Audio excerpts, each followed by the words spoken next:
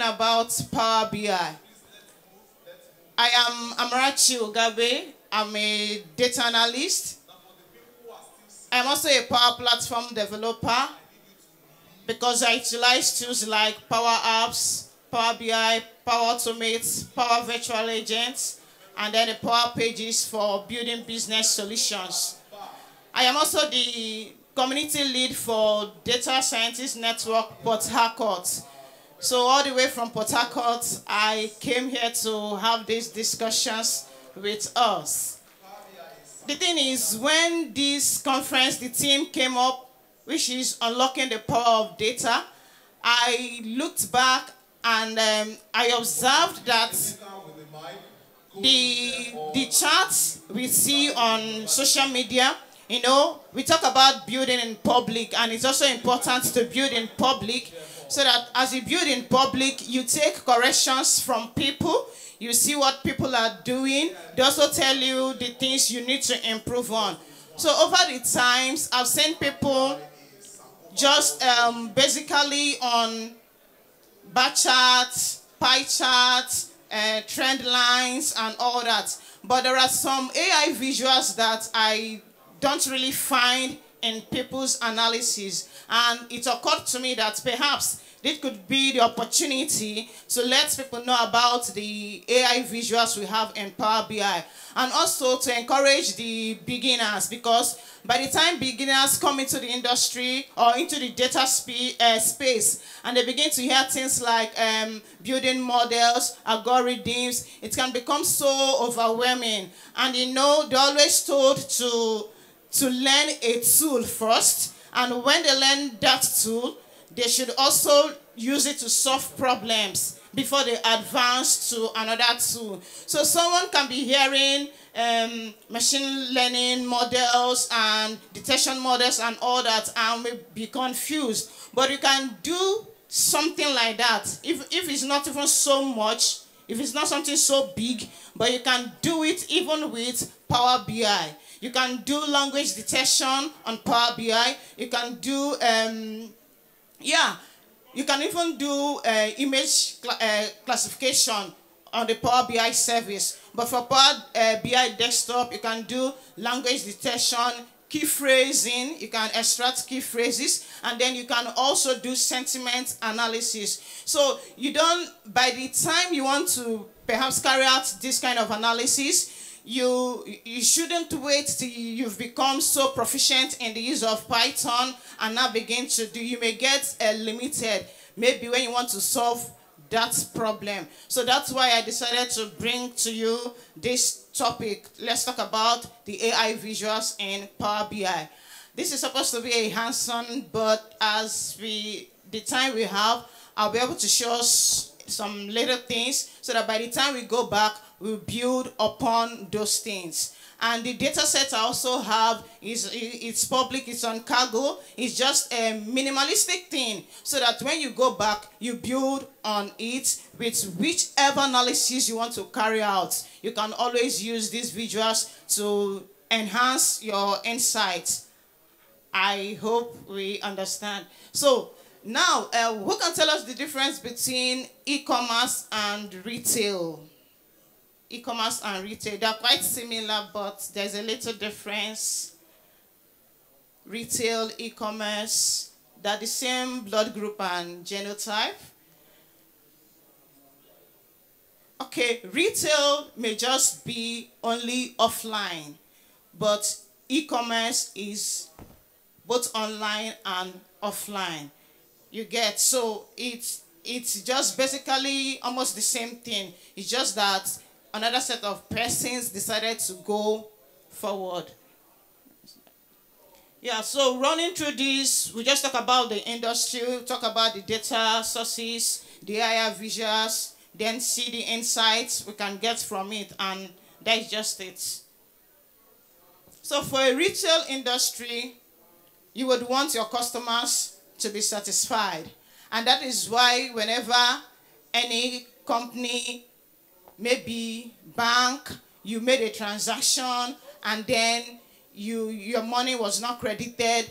In fact, someone will be writing another thing on Twitter, but you just go under that post and go and tag the bank. What are you trying to do? Because you know that the bank, they're very particular about their reputation. They're very particular about customer satisfaction. You know that by the time you do that, you have called them out and they're going to come to respond. Whether they're using automation to respond though, or is a physical is a agent, a customer service that is responding, no problem. All you know that you have caught their attention. So that is what customer satisfaction is all about, brand repetition. That is what retail industry, they really want to do. Yeah, they also want to be able to track their, their goods, their customers, their services. They just need effective tra uh, tracking so that they know when they have goods in stock, not when they are maybe having under de uh, demand or they're having over demand and supply. At the same time, they want people to be able to access their goods. When you want to buy something, it's available. They also make sure that the market is uh, efficient, just like I said, to avoid um, too much demand and then to maybe too much supply. They just need to have that balance. So that's the kind of uh, thing they like to do and why they're also in business. They also play around with our choices and bring variety. You may be crazy about a particular uh, product, and the next one month, you are hearing that there is another brand, there's another variety. And for human beings like us, we, we like to explore. So they are also interested in our choices and then bringing variety of things to us. And also promote local growth, yeah, because they will always employ people. And they kind of stabilize price with their competition uh, competitors and then innovations and trend, they also evolve. That's why some people that were just uh, basically offline with technology now, they've moved to e-commerce, not only on websites, but also on apps. And then the, you can even get home delivery, no longer walk in. And some, some, some even go as far as making you to pay on, demand, uh, on delivery so that at least they are able to, to get to. You don't have an excuse. Anywhere you like, make your order from. As long as we have an effective database and we have an effective tracking system, we will be able to supply to you. I hope we understand. Okay, do you think that uh, these companies could face possible challenges? Is there anyone that is willing to, to think about the challenges they could face? You see? Okay, funding problems. Yes, there could be times you want to scale, scale up, and then you are limited. You need funding. If you've been running an analog business and you want to be digital, you need funding. You also need uh, technology. You also need to understand technology. You need to adapt to it. And you're also concerned, okay, um, the people building this technology for me, how are they going to build it so that my data is, uh, is secured? You know, the cyber security, data privacy, and all that. And you're also concerned about proper inventory and customer expectation. So because of their objectives and their challenges, that is why they need us. They need uh, data people, not only the scientists, every data prof uh, profession, and in fact, different tech stacks, so that you will be able to solve some of these problems for them. So in the retail industry, there are many use cases of, uh, of data. You can use it for personalized uh, marketing. You can use it for uh, pricing optimization. You may be on your phone, maybe Facebook, and uh, you see a Jumia advert, and you just checked one shoe, you just shoe that you checked, and you maybe logged out. By the time you log in again, Jumia is bringing bag, and you're looking at the bag. Before you know, subsequently, Jumia keeps bringing uh, fashion wears to you. What are they doing? They've been able to build some models that um, has looked at your search history, your browsing history, they've seen your preferences. And because of that, they're able to, to target you. They're able to send some um, particular related, let me use the word related according to your search uh, preferences. So that is why they use data. They use your data, your search history. They use your choices. Even uh, on Facebook, as you're filling information, there are some places they will ask you what you're interested in. I think there's a column for that, and some people will write politics, religion, and all that. So they use all those data about you to know the things that uh, you, you, are, you, you really like. And that's how they keep uh, pushing those things for, to you so that you'll be able to just click and buy. Now, this is what data does for them. They do demand forecasting. Yesterday in this same hall, we learned about the act of uh, forecasting. It, it's helpful for several, several, lots of things. We also know that um, there could be instability, there could be some, um, some issues. So even when we are forecasting, we're also careful about the features that we use in our forecasting models. So customer segmentation, they're able to know, okay, this is a male and this is a female. So this is the kind of thing the person should be buying and this is the kind of thing a male should be buying. They also know if you are married and they may want to know, okay, this person that is married, maybe let me be pushing children, children thing also to the person. So they're able to segment their customers. And all these things are kinds of uh, analysis, kinds of models that even beginners can actually build. Okay, not really models per se, but these are the kind of problems that even beginners or anybody can pick up and begin to work on. So they, they are concerned about uh, fraud detection also. Like I mentioned, their challenges could be they're scared of their data, privacy, security. So that is why they would also want to do some fraud detection. And with that, they're able to, with that, their fraud detection uh, model that is being built, they're able to know when there is something fishy. So imagine maybe someone has been buying maybe 10, 10 naira 20, naira, 10, 15, and all of a sudden you are seeing something of a purchase of 1 million naira. You should be able to flag somewhere to, to really check out what's going on here. Is this, um, is this a case of a fraud or it's normal? So these are the kind of things that uh, social media analytics, just as I mentioned, Twitter, Twitter has been um, a big tool that the youths have used for virtually everything politics, journalism, tech.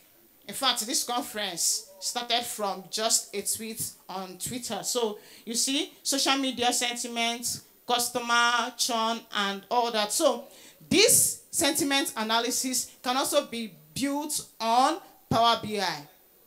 That is just what I want to explain to us. You can even do word cloud and lots of things on Power BI without having so much knowledge on Python so that by the time your data set evolves and then your skill set also evolves, you will be able to, to balance yourself with all these tools and be able to help yourself. The person that spoke to us yesterday on football, I think Mr. Victor that came in from US, he was saying that the, the, the tools he learned first were I think he said Excel, he said uh, Power BI. He just mentioned three tools, SQL. But by the time he got into the industry, he learned so much. Why? Because it is not so much about the tools, it's about solving problems. So each tool you have in your hands, know the capability of that tool and utilize it. So by the time you learn another tool, you also know the capability. Sometimes you can even do an analysis with a particular tool run through it and do with another tool, run through it and compare and really know, oh, so this is this is it. I got so and so here and I got just compare. Are there similarities? Are there differences? So this makes you balance in the industry. Now, with what we have or what I'm going to show us, I, I think this slide will be shared to us, but it's just a simple supermarket data set that we all, I think every one of us should have used that at one point, but the the dates and some other things we are not included because I don't intend to do data modeling, but we'll talk about it. And then there is a data set from tag box. It's also on Kaggle.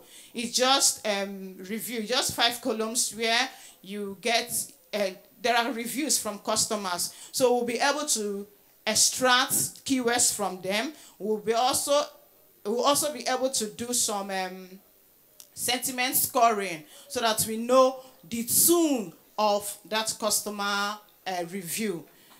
So data cleaning, as usual, when you get your data, you're going to clean it. You're going to also um, model it.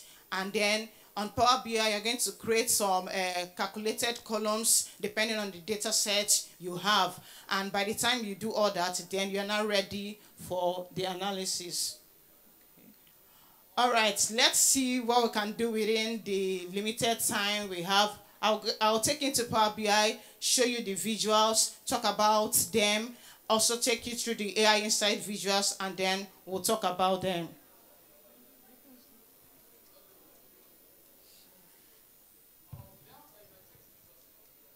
Okay, so um, has anyone used the Q&A visuals? Okay, it's not really a visual, but it's a feature. Has anyone used the Q&A? Okay, beautiful. What about the key influencers visuals? What about the, uh, the composition tree visuals? Smart narrative? We are not answering. Okay, we all know all of them. Okay, not all. Okay, what about text analytics? Has anyone been able to use? Is um, Azure is built on Azure Cognitive Services. So even com uh, the vision, computer vision and machine learning. Okay, let's go into Power BI. Okay. Okay, um, these are the normal charts we know. These are just the normal charts we know. Nothing so much, but let me show you the data set. This is the supermarket or retail data set. It just ship mode, segment, country, city sales, postal code, region, category, subcategory sales, quantity, discount, profit. For the revenue, it was a calculated uh, column I did. So basically, I just want to, okay, for those that have not used the question and answer, you just need to double tap or double click on an empty space and then it comes up question and answer. Okay.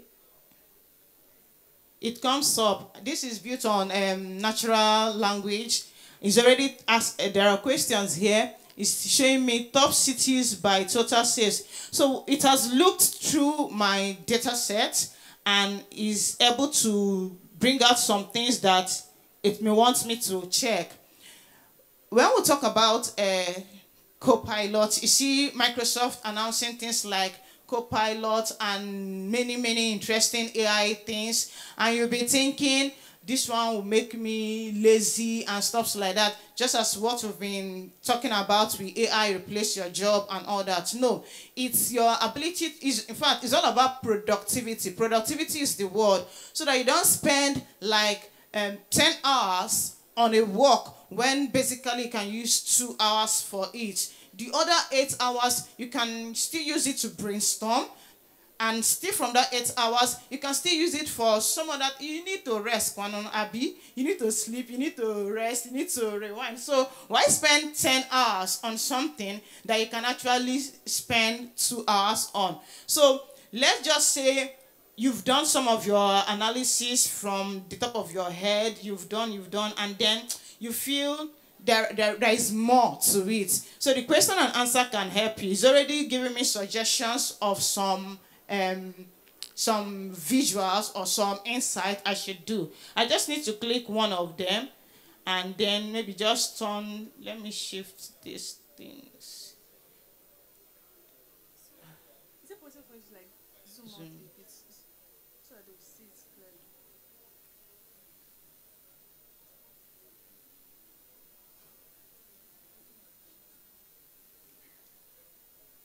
Okay, I'm trying to zoom, but guys, we are fighting. Okay, if you just notice this one, I've turned it to a video already. Sometimes these systems can be funny, so it's okay.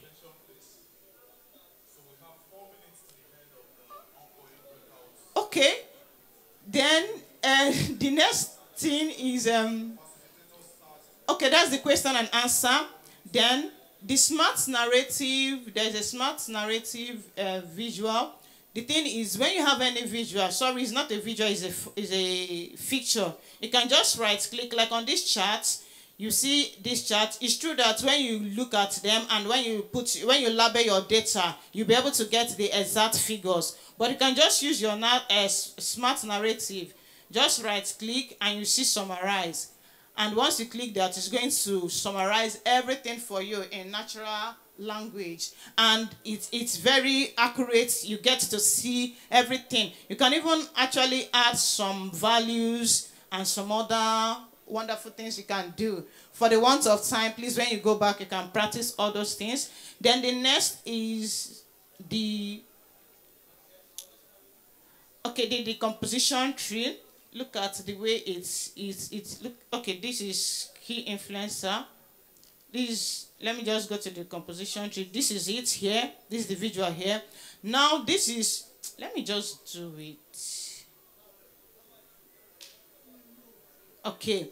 Now when it comes you just have two things. You have the analyze which is the main thing you want to analyze and then you have explained by the things you want that anal uh, the analysis to be so what we are trying to do is you want to dig deep into the things that causes these uh, changes. Now, if you're interested in sales, for instance, let me get my sales here and analyze. So I'm telling you to analyze sales for me. And I want it to be by maybe by category. So I just come here, you're going to see something like a full uh, a cross. Let me just add country, explain by country. You see a, a plus here. Then you want, okay, it's by country. Do you want the high value or low value? You can choose anyone. And it's going to give you, the high value here is US. That's why I'm seeing US here. So you can basically add city, category, whatever thing you want it to explain by into this. And then you begin to dig deep into it. And just like that, you, you, be, you understand it. As you look at it, it's very easy to understand for want of time, let me go to the key influencers. Now, these key influencers, you may want to know the things that influences a particular, uh, I say, metrics per se. For this one, I still have sales. Now, what are the things that influences sales? Just as the name is key influencer, you see that I have when the subcategory is uh, tables is going to increase by 400 and what do I have here? I think 47. Okay, it's saying that when the subcategory is tables, the average sale is going to be 432.75 units higher compared to all other values of subcategory. So now you're able to know the particular uh, things that influences a maybe your what do they call it? Di um, it just escaped me. You understand? Okay, thank you. So that when you're not going to build a model much later, you, uh, when you're doing your feature um, um, separation, your feature analysis, you know the particular features you pay attention to because they give the overall influence on that particular um, analysis you are doing. Now let's go to the other AI visuals. Okay, I have here the review data set. Now I'm interested in detection of language, key extraction, and score sentiment. For this one, it's been done already. It's been done. That's why you see English. You see your uh, keyword extraction. It has extracted some of them. And you see the sentiment score. So let me just go to the one that has not been done before. Here it is. No, this has been done before. Okay, this hasn't been done. Look at the data here, transform data.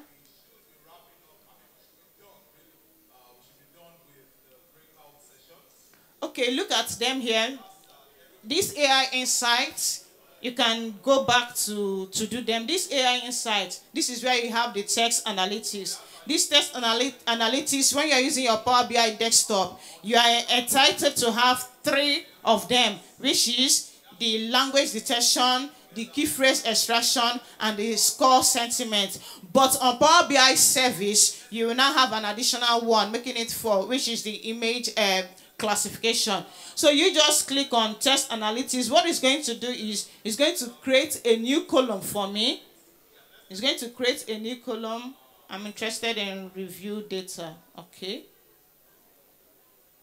I just have six columns ending at image links. Let me try.